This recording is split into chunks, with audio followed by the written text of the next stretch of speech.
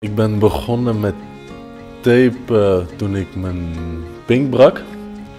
En eh, die staat nog steeds een beetje krom. En die heeft eh, een beetje dezelfde neiging om ja, elke keer krom te gaan staan. Dus door het tapen blijft hij recht staan tijdens het spel. Dus daar is eigenlijk begonnen. Maar toen was ik, toen was ik spelverdeler en toen vond ik het eigenlijk helemaal niet fijn om met tape te spelen. Dus dat was eigenlijk de e-, enige vinger die ik tapete toen ben ik overgestapt naar de diagonaal en toen ben ik een eh, stuk mee gaan tapen, omdat ik uh, ook nog wat andere vingers heb die, uh, die gebroken zijn.